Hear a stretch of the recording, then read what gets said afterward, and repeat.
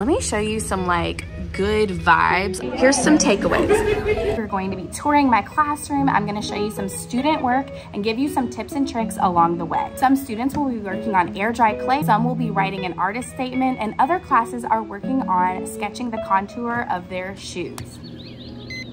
So it's like 6.45 a.m. I'm ready, the kids are getting ready, and there's about 15 minutes before I leave the house.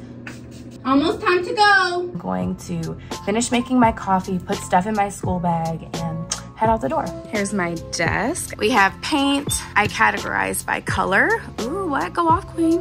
oh my gosh, the white looks so pathetic. The students sit at these big tables and they store their artwork in here. I love that. Be bold. Period. Be sure to follow the Art of Education University on YouTube for more videos like this. Bye!